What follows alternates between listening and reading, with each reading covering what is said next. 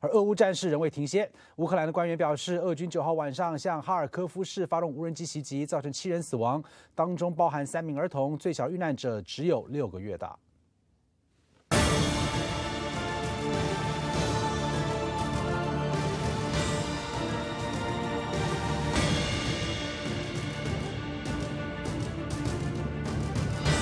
在乌克兰东北部的哈尔科夫市，大片建筑陷入火海，火舌四处蔓延，整片夜空都被火光照亮。哈尔科夫州州长西涅古博夫表示，俄军夜间对哈尔科夫发动无人机袭击，击中民用基础设施，并引发大火，造成至少十五栋民宅被毁。死者中有三名儿童，分别是七岁、四岁和六个月大。哈尔科夫地区检察官办公室主任表示，三架无人机击中了当地一座加油站，加油站内有大量燃料，令此次火灾造成了格外严重的后果。乌克兰军方指，俄军当天向乌克兰境内发射三十一架无人机，乌军击落其中二十三架。除了哈尔科夫地区外，南部的敖德萨地区也是俄军袭击目标之一。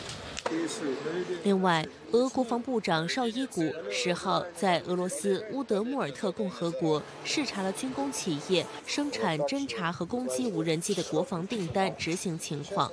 俄国防部指，企业代表向绍伊古汇报称，自2022年以来，已建立多座新车间，投入运营后，无人机的产量增加了百分之六十，未来还会成倍提高产量。随着新产能投产，包括旋风一反坦克导弹、捕鲸者制导炮弹、舰式防空导弹在内，高精度武器的产量将增加一倍。